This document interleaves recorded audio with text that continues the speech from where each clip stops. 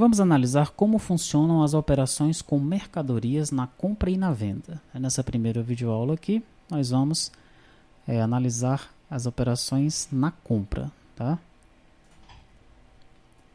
A expressão mercadorias ou produtos na contabilidade é utilizada para se designar os bens adquiridos por um estabelecimento comercial para serem revendidos. Se o estabelecimento for industrial, as expressões mais utilizadas são matérias-primas ou insumos. Levando em conta que uma indústria não adquire matéria-prima para revender e sim para industrializar, ou seja, para transformá-la, o resultado da transformação, os produtos ou mercadorias, é que são vendidos. Se o objeto social da empresa é a compra e venda de mercadorias, é natural que a sua principal fonte de receita seja a transferência da propriedade dessas mercadorias a terceiros. Por exemplo, qual é a atividade de uma papelaria? Vender canetas, lápis, papéis em geral e etc. Logo, ao vender uma caneta, a livraria ou papelaria estará transferindo a propriedade de um bem, que é seu, a caneta, a terceiros obtendo assim uma receita, normalmente registrada como receita bruta de vendas ou vendas de mercadorias, ou simplesmente vendas. Se a livraria ou papelaria obtém uma receita, ela deve ter tido algum custo. A caneta não sai de graça para ela. Esse custo é normalmente chamado de custo de mercadoria vendida, ou CMV. A aquisição de mercadorias é chamada de compras. princípio da não cumulatividade. Nós vimos isso lá na videoaula, é onde nós analisamos os impostos na Constituição Federal. Tinha lá, né? O ICMS traz o princípio da não cumulatividade. E o que é isso? De acordo com a Constituição Federal, o imposto sobre produtos industrializados e o ICMS serão não cumulativos, é o IPI e o ICMS. Isso significa que os valores devidos em cada operação serão compensados com o montante cobrado nas operações anteriores. Sendo assim, quando a empresa contribuinte do ICMS e ou do IPI adquire mercadorias que sofreram a incidência desses tributos e ao vendê-las também sofrerão essas incidências, ela poderá compensar os valores pagos desses tributos nas operações iniciais. Tá? Então existe aí uma compensação. O ICMS, o PIS e a COFINS são considerados tributos por dentro. Ou seja, os valores do ICMS, do PIS e da COFINS estão incluídos no preço das mercadorias adquiridas. Assim, se ocorrer uma aquisição de mercadorias para revenda por reais, com incidência de ICMS alíquota de 20%, de PIS a 2% e da COFINS a 8%, o cálculo é esse aqui. Ó. Nós temos o valor da nota fiscal, reais. ICMS, 20%, está incluído no preço. Então, foi 200 reais de ICMS. PIS, 2%. Ele também é por dentro, né? Está incluído no preço. Então, foi 20% aí de PIS. COFINS, 8%. Ele também está incluído no preço. Foi 80 reais. O valor líquido da mercadoria, então, foi 700 reais. Tá? Então, embutido né, dentro do valor da nota fiscal estão os tributos que têm como fato gerador o faturamento e ou a circulação de mercadorias, né, como é o caso do PIS, da COFINS, do ICMS. Então, nesse caso aqui, você pagou mil reais pelos produtos, né, mas 300 reais foi de imposto. Né, a empresa lá recebeu 700 apenas. Né, esses 300 aqui é, foram para o governo, né, para a área do governo responsável aí, federal, estadual, municipal. Né, no caso aqui, federal e estadual. Se esses tributos estão regidos pelo regime não cumulativo, significa dizer que eles podem ser compensados com os valores que serão devidos na ocasião da venda das mercadorias. A empresa será sujeito passivo desses tributos quando da ocorrência do fato gerador. Faturamento, no caso do PIS e da COFINS, e circulação da mercadoria, no caso do ICMS. Então nós temos aqui valor da nota fiscal mil reais, ICMS 200, PIS 20, COFINS 80, valor líquido 700. Mesmo exemplo que nós vimos anteriormente. Nessa operação, né, na operação anterior, os 200 de ICMS serão recolhidos pelo vendedor ao Estado. Os 20, os 20 de PIS e os 80 de COFINS serão recolhidos aos cofres da União. Tá? Então, ICMS a nível estadual, PIS e COFINS a nível federal, vai para a União. Para o adquirente, né, para quem está comprando, esses valores pagos na aquisição das mercadorias significam um direito da empresa contra o Estado e a União devendo ser reconhecido na escrituração contábil através de contas próprias, que podem ser chamadas de ICMS a recuperar, PIS a recuperar e COFINS a recuperar. Como significam direitos para a empresa, as contas mencionadas acima são de ativo. Elas entram lá no ativo da empresa. E como é que funcionam essas contas a recuperar? Na compra, são debitadas pelo valor embutido no preço no encerramento do período de apuração do imposto, são creditadas com a transferência do seu saldo para as contas de passivo respectivas, a recolher. ICMS a recolher, PIS a recolher e COFINS a recolher. Veja que elas eram ICMS a recuperar, PIS a recuperar e COFINS a recuperar.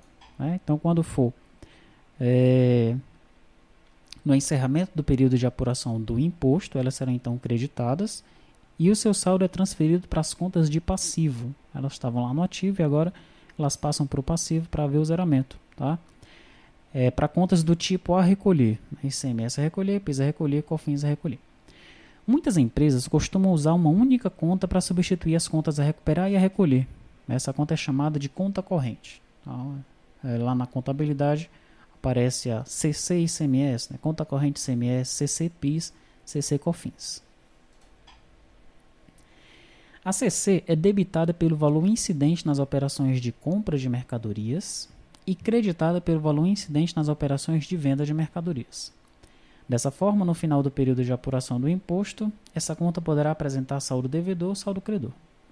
O saldo devedor indica que a empresa tem um direito de crédito contra a Cefaz, a ser compensado nos períodos base subsequentes. O saldo credor indica o valor a ser recolhido, sendo, portanto, uma obrigação da empresa junto à Cefaz. Dessa forma, se a CC, né, se a conta corrente apresentar saldo devedor, é um direito, deverá ser classificado no ativo. Porém, se apresentar saldo credor, é uma obrigação e deverá ser classificado no passivo. O IPI é um tributo que tem como fato gerador a saída de produto industrializado do estabelecimento industrial ou equiparado a industrial, além do desembaraço aduaneiro de produtos de procedência estrangeira. A primeira grande diferença em relação, com relação ao ICMS, ao PIS e à COFINS é que o seu valor não está incluído no preço dos produtos. Né? Então o IPI não é por dentro, ele é por fora. Tá? Se o adquirente dos produtos sobre os quais incidiu o imposto é contribuinte do IPI, é uma empresa industrial ou é equiparada a uma indústria, os produtos adquiridos serão utilizados em seu processo de industrialização. O IPI incidente na operação de aquisição poderá ser recuperado no momento da venda dos bens industrializados pelo industrial. É o princípio da não cumulatividade. Caso contrário, o IPI incidente na operação não será recuperado e, portanto, entregará, integrará o custo de aquisição. Ou seja, vamos a um exemplo aqui. Né? Se uma indústria de carros compra um pneu de uma indústria de pneus, é uma indústria comprando um insumo para industrializar, para fazer um outro bem, né? para é, fabricar um carro. Tá? Então, ele poderá utilizar o princípio da não cumulatividade para recuperar. No entanto, se uma outra empresa compra esse carro já é, fabricado para vender o carro, aí ele não está comprando o carro para fabricar alguma outra coisa, né? ele já vai vender o carro. Aí não, aí o carro ele integra o custo de aquisição, tá? ele não pode recuperar esse IPI. Então, está aqui um exemplo, né? Acabei de dar um exemplo anteriormente, mas nós temos uma aqui. Olha. Se uma indústria adquire matéria-prima por mil reais, com alíquota de IPI de 20%, de ICMS a 20%, de PIS a 2% e da COFINS a 8%, o cálculo será esse aqui. Olha. O valor da compra sem o IPI, mil reais.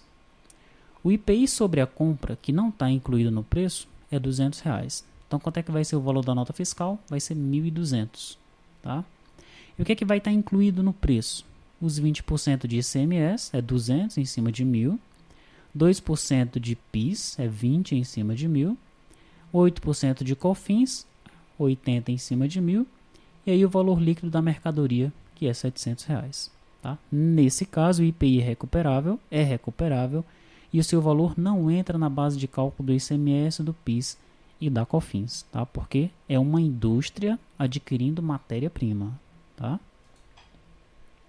Nesse outro exemplo, uma empresa comercial adquire uma máquina diretamente da indústria para o seu ativo imobilizado pelo valor de mil reais e as mesmas alíquotas, né? 20% de IPI, 20 de ICMS, 2 de PIS, 8 de COFINS. Qual é o cálculo?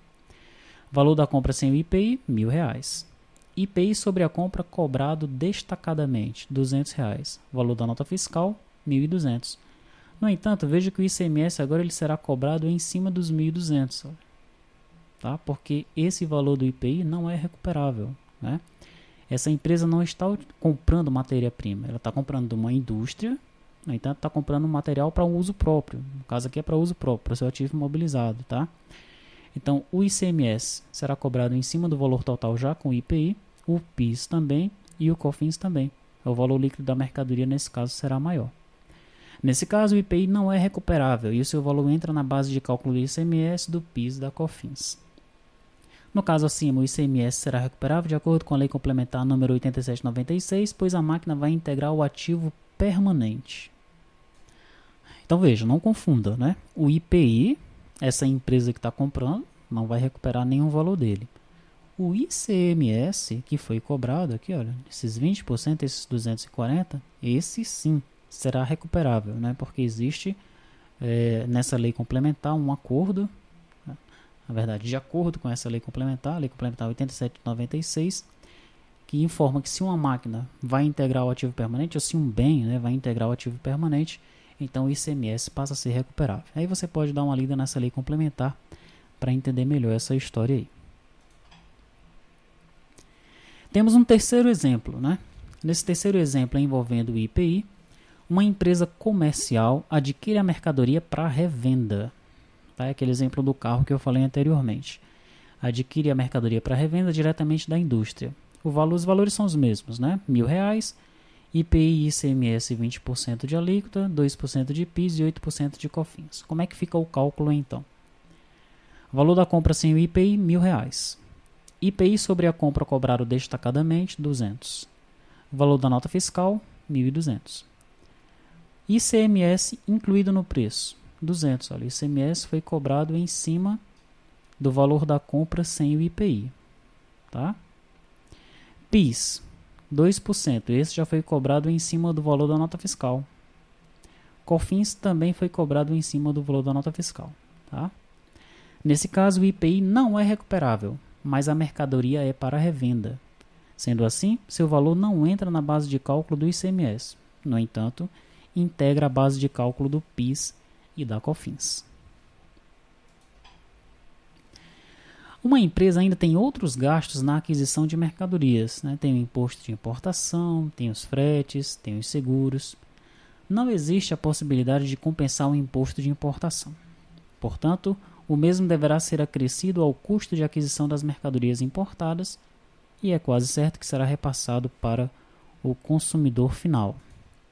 O mesmo acontece com os fretes, os seguros e demais despesas acessórias que o adquirente é obrigado a pagar, que integram o custo de aquisição das mercadorias objeto de venda e, como eu já mencionei, quase que certamente né, será repassado para o consumidor final.